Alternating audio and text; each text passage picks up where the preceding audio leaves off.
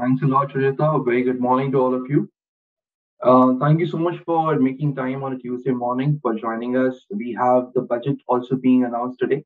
So we're going to keep the session tight um, so that by the time the finance minister starts her speech, uh, you would be free to monitor the new announcements which are coming in.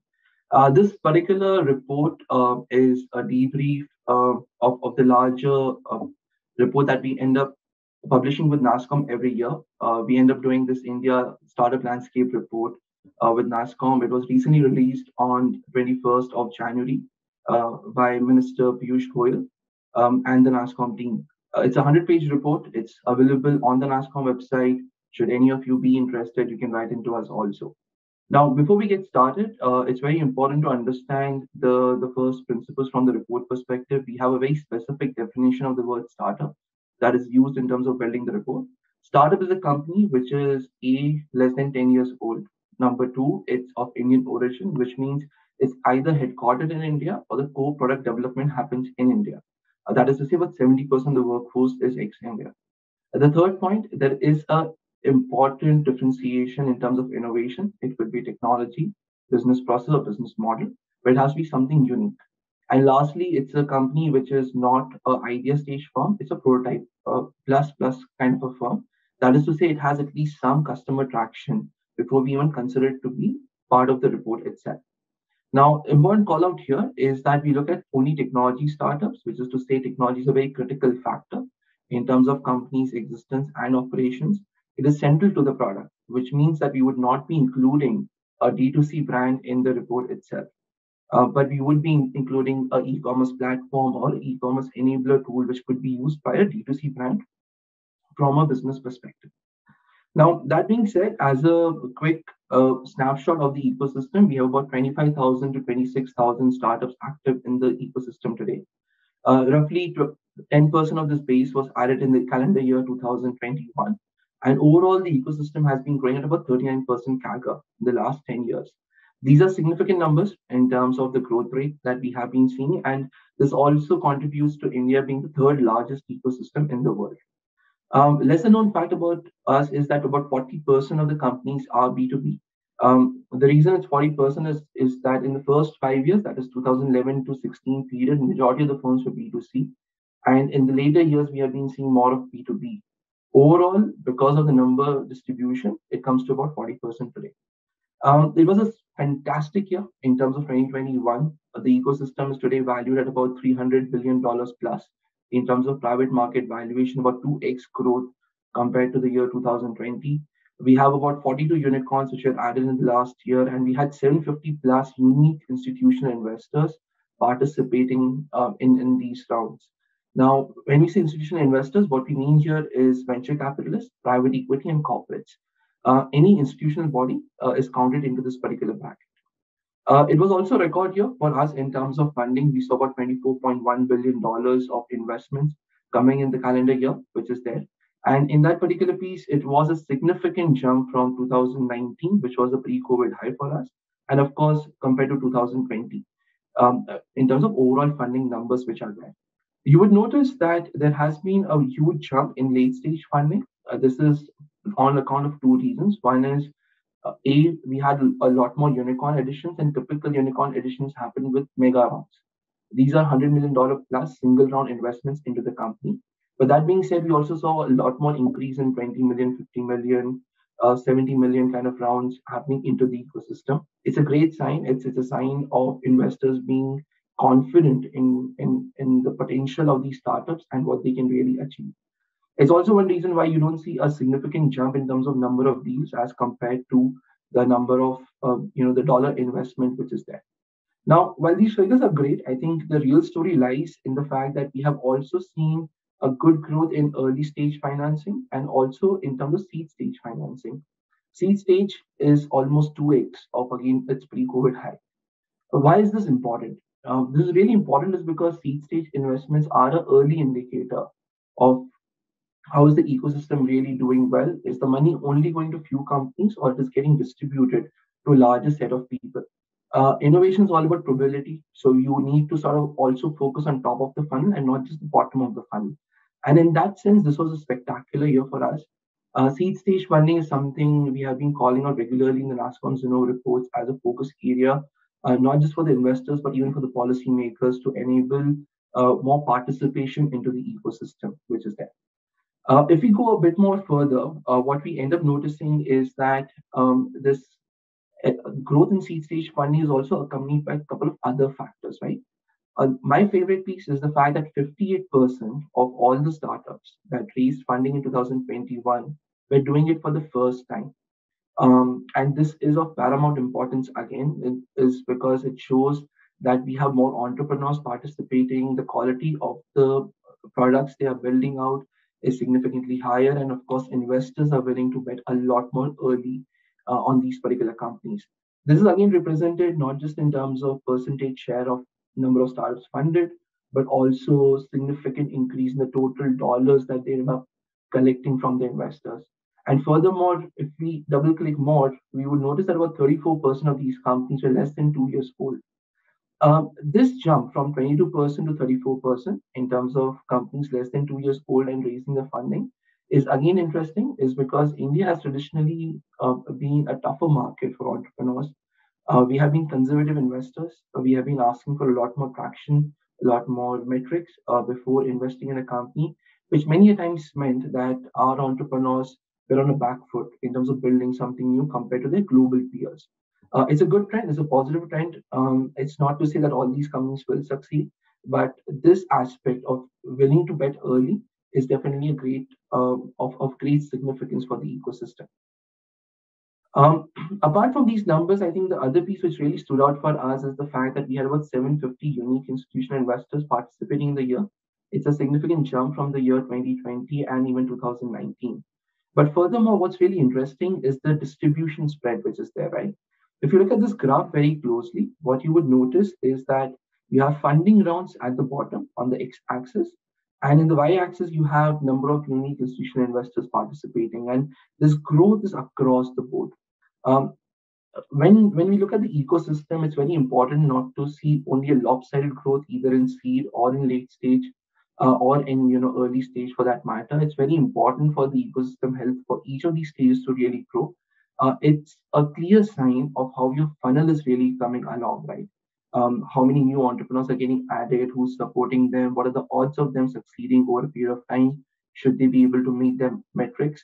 And in that sense, um, this is definitely encouraging for us as an ecosystem. Uh, we of course saw increase in mega deals. that was a big contributor in terms of new investors coming in. Uh, and these are just a few examples, right? Byju's raising a, a, a billion dollars, Swiggy raising $800 million. They recently announced $700 million funding round, which is there. And this is again, you know, very, very encouraging for us is because what it tells is that the investors are not just betting on the product, but they're also betting on India as a market. Uh, and this is an evolving, growing market, which should work in our favor as we go along. Uh, when we speak of the market, uh, it's also the big story in terms of why India added third largest number of unicorns in a single calendar year. We were beaten only by US and China. Israel, which is a great innovation ecosystem, added lower number of unicorns than India. Uh, a key reason here is is the India market aspect, and of course, since we have a great talent base, a growing market, since we have the optionality of not just selling locally but also selling globally, our perspective is that we will continue to see a definite growth in terms of number of companies, well-known companies globally, uh, leading companies, uh, you know, from India. Uh, I think the month of January has already saw, seen four to five unicorns being added fingers crossed, if, if, if this trend goes on, we'll definitely see ourselves jumping and leading the rest of the world.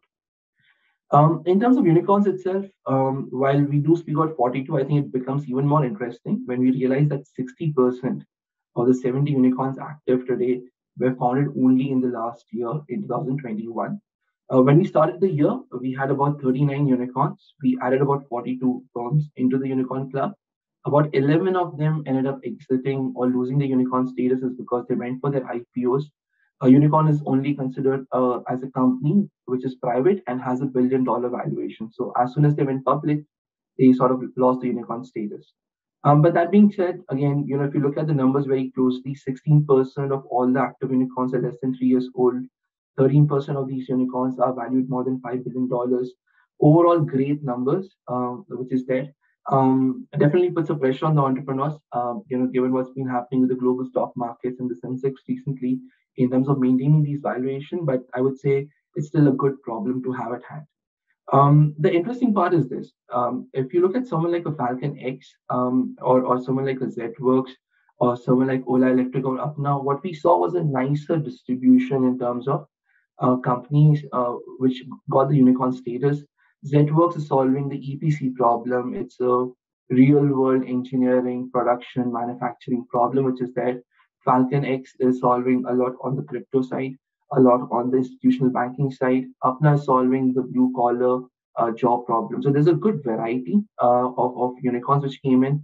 We also saw, you know, first time unicorns in multiple categories. I think we had healthcare, which saw three unicorns for the first time. Uh, we had real estate and construction in terms of infra dot market or NoBroker coming up. There was, of course, you know, Apna, which became uh, a unicorn in HR. We had Darwinbox in this month, which has come up. Uh, overall, good distribution. I think we have active unicorns in close to about uh, 20 plus sectors in the country today. Apart from the unicorns, we also look at the potential unicorn pipeline. Uh, this again saw a significant jump. Um, 58 out of 135 companies were achieved the status in the last year itself. Uh, to keep things simple, we describe Potential Unicorn as a firm which has raised $50 million plus in cumulative funding. Uh, by then, they typically have uh, upwards of $400 million in terms of valuation and have a fairly decent chance of hitting the unicorn uh, mark uh, in the next two to three years. Um, now, while we look at the numbers, interesting piece for me was that you know we have about four sectors which have more than 10 plus potential unicorns. These include BFSI, supply chain logistics, retail, and real estate construction, which is there. So a lot of core industries, BFSI has had a great year, which is there.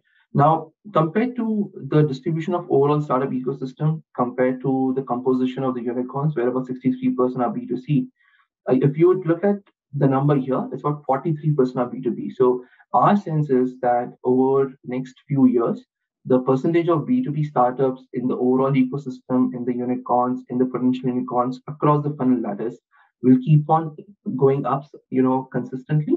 A very big reason of this is the focus on SaaS and on the enterprise tech in terms of building from India and going global. About 23% of companies are already servicing global markets today. Um, now, while you spoke about investments, uh, it's also important for the ecosystem to see exits.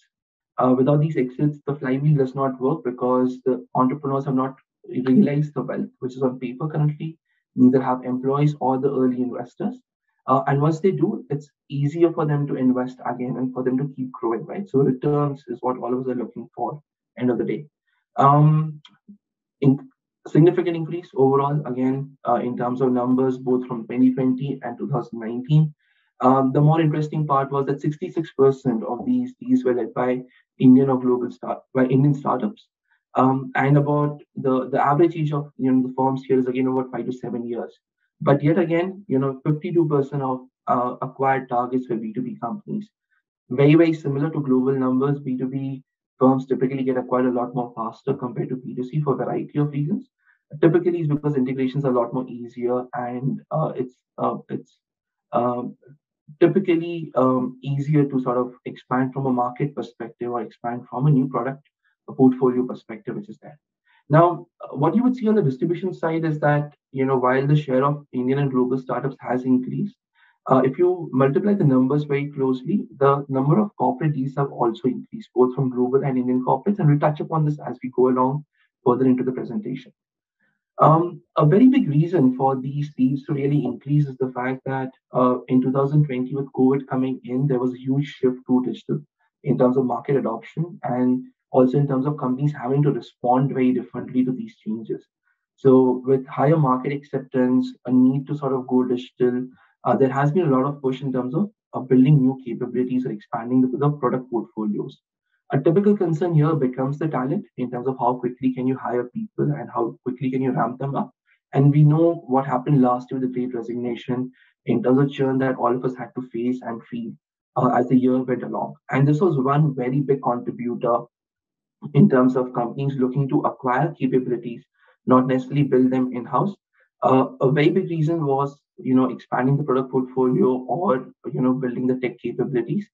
Um, market expansion was important, but if you see a significant chunk is all about saying, I want access to great talent and great products, which will help me accelerate my strategic goals a lot more faster um, than what you know would be possible if I go solo. Um, this we believe is going to be a very important trend in the next few years. Um, the whole build buy partner model from our conversations is being revisited by a lot of CXOs, and they're trying to figure it out that what does that look like in the in the new age. Uh, do companies need to change how they decide what to build in-house versus what to procure, what to you know partner for? Uh, and this is an evolution journey today. Uh, we will see things evolving, uh, will be in a state of flux for that matter uh, in next three, three to four years. But overall, we will definitely see a lot more acquisitions happening, which is there. Um, an important call out for a lot of GCOEs. Active hiring is again being of you know great interest to startups and corporates in the last year. Uh, this is one segment we do expect a lot more traction from the GCOE perspective uh, of expanding the talent pools which are there. Um, what we are hearing right now is that global headquarters are a lot more comfortable in terms of looking at these uh, talent acquisition pieces or product acquisition pieces compared to what they were in 2020, 2019, or prior to that. Um, apart from M&A, it was a great year in IPOs. Maybe not the best time for me to talk about IPOs, given what's happened with Sensex and the Paytm crash. Um, interestingly, just as a call if you look at tech stocks across the world, uh, they tend to fall in the first six months um, of, of their listing. Uh, multiple reasons for it. I think a good example is Dropbox, which uh, in its private market valuation was at $10 billion. Today it has significantly higher amount of revenues, but the market cap is still about $10 billion. Um, I think that's just how the private markets work. Uh, but that being said, a very good year in terms of exits. A lot of capital came back to investors, founders, you know, had the money come in, but we had close. We had a lot more millionaires getting created in terms of employees um, and them now going out and becoming angel investors or them supporting new startups coming in. So from a flywheel perspective, this was definitely definitely a great year for us. Um, the other common piece comes to us is this is saying that hey look you know is the startup ecosystem only about bangalore is it only about delhi there's a news article today uh, which said that delhi is the tech startup ecosystem of, of uh, tech uh, startup uh, uh, startup capital of India. Um, a lot of debate on that particular topic, uh, but suffice to say that you know we have a, a bigger story which is beyond Bangalore, Delhi, or Bombay, or Chennai, or Hyderabad for that matter. Roughly about 29% of, of the firms today are coming in from what we call as emerging startup hubs. These are cities like Ahmedabad, Kolkata, Coimbatore, Kochi, um, uh, Surat, Indore, um, and they have a decent distribution of firms coming in. The interesting bit is this, is that if you look at year by year data, then we noticed that in the calendar year 2021, with about 2,300 companies being founded, 40% of them came from emerging hubs. If you go back into, into time, in 2015, only 25% of the startups then were from emerging hubs. So we're definitely seeing a good shift in terms of people moving out of the bigger cities and building startups in their local territories. Multitude of reasons, uh, predominantly because of better government policies, uh, stronger local ecosystems, shift in terms of the problem statements they are solving. Uh, a lot of them are focusing on what we call as India-specific problems. There's also a good shift in terms of realizing that you can build global products, you know, from anywhere in India. You don't necessarily need to be in Bangalore when you're starting your journey. And then there are, of course, those advantages of cost. Um, the fact that you can stay closer to your families or uh, just the simple piece that the cost of living in these cities is much more lower. So we're going to expect this shift to continue uh, for the next couple of years. Our sense is that this would stabilize somewhere in the 60-40 range, 60% established and about 40% emerging uh, in terms of times to come. Um, from a deep tech perspective, about 12% of the companies are leveraging deep tech um, uh, from in terms of building their solutions. The most popular one uh, happens to be AI and ML. Um, quite evident at that because even if you're building a connected solution, you want to make it smart. So you might have an IoT solution, but you would want to put AI on top of it. Um, you have a big data problem, you want to make it smart, you automatically shift towards AI. So there's a natural advantage in terms of us wanting to move towards smarter solutions why AI picks up. Uh, but that being said, again, you know, we are seeing a very significant growth in terms of blockchain or in terms of AR, VR, the whole metaverse conversation is really, really strong in the ecosystem today. And similarly with 3D printing and drones. Um, what's really encouraging is, is to you know know of stories where people don't realize these are Indian startups. A great example is Polygon. Um, uh, it has a token called Matic. For those of you who are active in crypto, uh, you would know Matic had, had been growing really well. Um, like a lot of cryptocurrencies in past, uh, it's been one of the stabler ones in terms of uh, post corrections in pricing. But this is a solution built by Indian engineers, which most of the world believes is the American solution. Uh, it's a very classical story. Uh, there are about 7,000 plus applications built on top of it. Some of them, you know, going into NFTs and gaming tokens, which are getting more and more popular. Uh, but suffice to say, the product is seeing a lot of adoption, right? And it's built by Indians from India, still, you know, seen by the world as an American product. And we have a lot of such stories in terms of Skit or Observe.ai. Um, this is an ecosystem which which is still relatively nascent compared to the larger Indian startup ecosystem. Uh, our sense is that the deep tech, uh, you know, is where we as India were in 2015. Um, we have a lot of good stories. Uh, now we have to focus on volumes. And there are some of these initiatives that NASSCOM is working on. There are a lot of corporate programs which are active, which are supporting deep tech startups. Uh, over the course of next two to three years, um, uh, we are pretty optimistic that the gap between perception in terms of how Israel is seen and how India is seen will start to reduce. Uh, it will take about two to three years at the very least, maybe three to five years. But we are definitely on that journey where uh, Indian entrepreneurs, from an innovation, from a tech complexity perspective, will be considered at par as an ecosystem in Israel or Valley for that matter. Now, a very quick sector view. What we did was we tried to figure out which sectors are really growing. So uh, on the y-axis, we looked at the percentage share of a sector as uh, uh, as part of the whole ecosystem, and then we looked at what was the five-year CAGR for each of these particular sectors from a growth rate perspective. Uh, the top five sectors constitute about 51% of the ecosystem, which is EdTech, enterprise, healthcare, BFSI, retail tech. A common question we get is that, hey, why don't you, you know, consider SaaS? Uh, the reason we don't look at SaaS separately is because it's a business model, it's not an industry. Uh, and in that sense, you will have SaaS solutions across this, this whole chart, uh, which is there. Um, uh, now, that being said, there are these stories you would see happening very often. For example, gaming. Uh, you know of MPL, you know of uh, Nazara, which has been doing fairly well. It's a listed firm now. Uh, or in terms of fitness and wellness, uh, I think the most popular brand for us has been CureFit. Uh, but there are a lot more which are coming up. there's something called the Ultrahuman, which is being raved as a product not just in India but also in US for its its efficiency. And similarly, you know, social platforms like Koo, uh, which are solving for the Indian segment. Uh, overall, you know, extremely good growth, growth rates across the ecosystem, across industries. Uh, these are typical choices that every ecosystem goes for because uh, this is where most of the founders have a lot of relatability in terms of problems and they have a natural bias to it. Um, our perspective is that over the course of next four to five years, mobility, agri-tech, automotive, industrial manufacturing will start to pick up a lot more. A key reason for this is the market acceptance levels will be much more higher. Uh, and um, uh, for example, in industrial manufacturing, uh, a very big base is MSME. Uh, they have their own concerns in terms of adopting technology. Till the time that base is not ready, you can't really do much. But the base itself is shifting. It's getting more digitized. It's open to newer solutions, and that's what's really going to support the ecosystem as we go along. Um, from a funding perspective, in the sector view, uh, this is a quick snapshot. BFSI had a great year, about 25% of investments last year. Uh, education, retail, food tech were the other ones which were there. Um, the outlier here is, of course, food tech because while it had about 8% of the total funding, majority of it went to Zomato and Swiggy and few others. Um, uh, as an ecosystem, you know, food tech is pretty small, and that's one reason. Uh, what you would see here is is that you know it's one of the smaller uh, percentage of the whole startup base, um, you know, in the ecosystem today.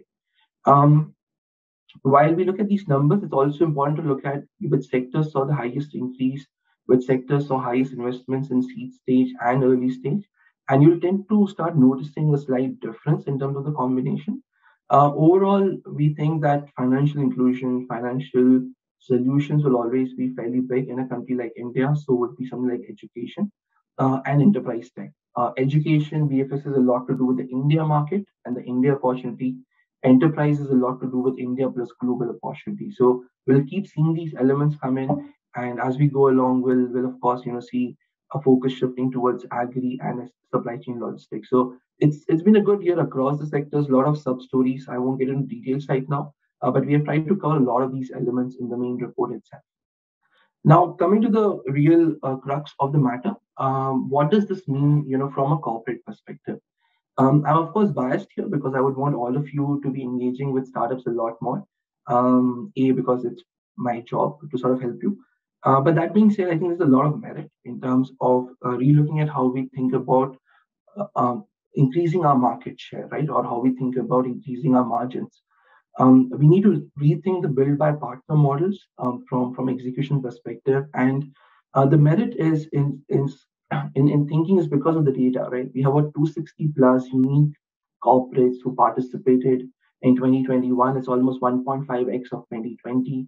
We have seen a significant jump in investments. We are seeing increase in M&A, and there is a lot of growth in open innovation programs. And what you would notice here is that a lot of firms are using a combination approach, right? Someone like, say, Microsoft, Google, Airtel, uh, the Tata Group, uh, Reliance Group, uh, all of them are using a combination of these, these structures. They're investing in firms, they're acquiring majority or minority stakes in the company, or they are launching their own collaboration programs. Nobody's using only one way, they're using a combination approach to figure out how to grow. Um, from a GCP perspective, I think the feather in the cap is that 62% of these open innovation programs are led by GCOEs.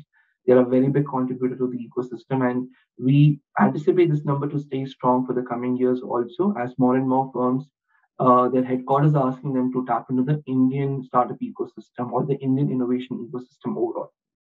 Um, from an M&A perspective uh, and investment perspective, a few more details. Uh, in terms of investments, we of course saw a growth. Uh, what I found really interesting was the growth in seed stage investments.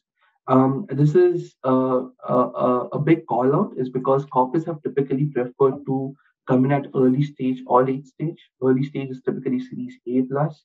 Late stage is the mega rounds that we talk about, or Series C, Series D, uh, which is there much later in the company's journey. Uh, but this growth in seed stage was really interesting for us to notice. Um, it, it almost talks about the fact that there's a lot of acceptance at headquarters uh, for for the teams to bet a lot more early into the Indian startup ecosystem. Uh, a good mix of firms across the board. We have someone like Unilever and the Times of India participating. Um, PSUs have been pretty active in terms of investments also. Um, and then of course there is the the popular ones like SoftBank Group or the Google or Google and Microsoft out there. Um, 17% of all the rounds had at least one corporate investor. Uh, it's again, you know, extremely big number. Uh, out of all the corporates which participated, 52% were global MNCs, about 48% were uh, Indian MNCs. Again, a very good mix in terms of uh, data points to talk about the possibilities or the opportunities or how the world is looking at Indian startups.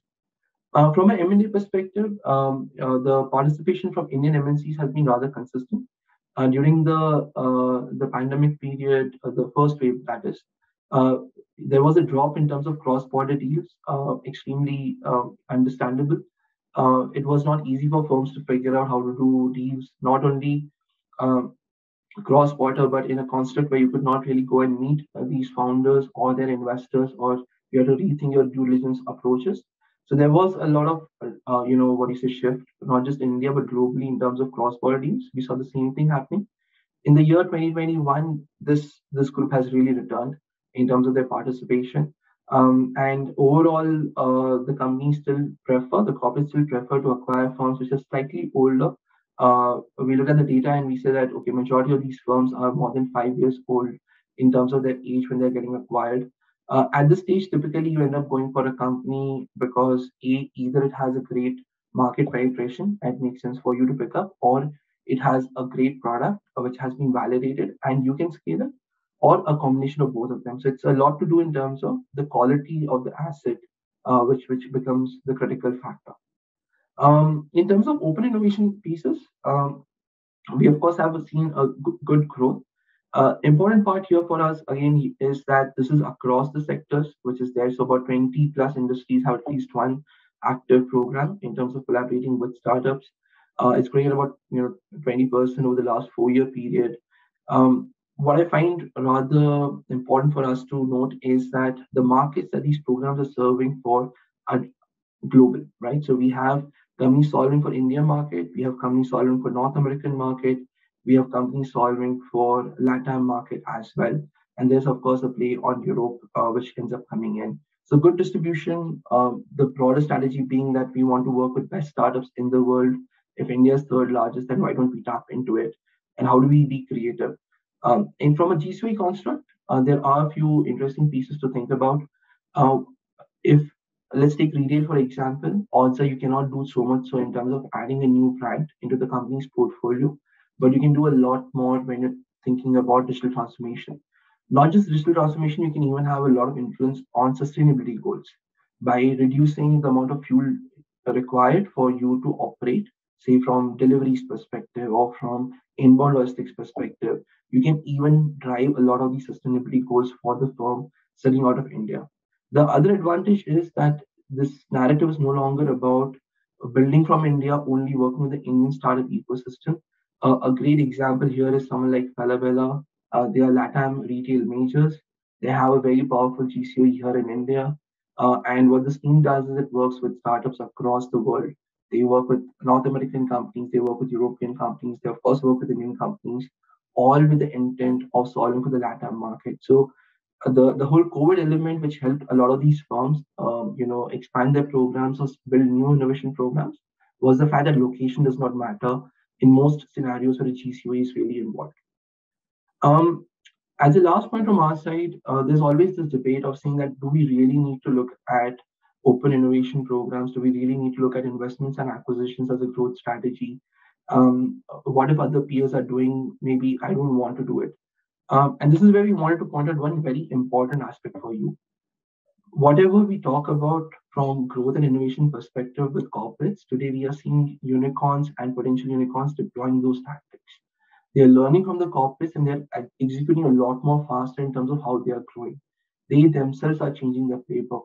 And if nothing else, this is something I would definitely encourage all of you to dig a lot more deeper when you look at the report about 24% of Indian unicorns and potential unicorns are actively investing in startups, they're acquiring companies, or they're running their own structured innovation program. Uh, these numbers are going up and they will continue to go up, it's a very good reflection of the ecosystem. As a last piece for us, uh, we do anticipate 2022 uh, to be another great year. There will be a good momentum in terms of investments. Uh, we will continue to see more IPOs coming into the ecosystem. There are already uh, a bunch of IPOs which have been filed for and more filings expected as we go along. Uh, M&As are expected to continue to stay strong as companies figure out how to grow. A unicorn pool, uh, by virtue of these events, will continue to expand. And of course, you know, our favorite bit is that we'll see more sectors become prominent. We'll see sectors, you know, listing their first unicorn, their first potential unicorns, and growing along the way.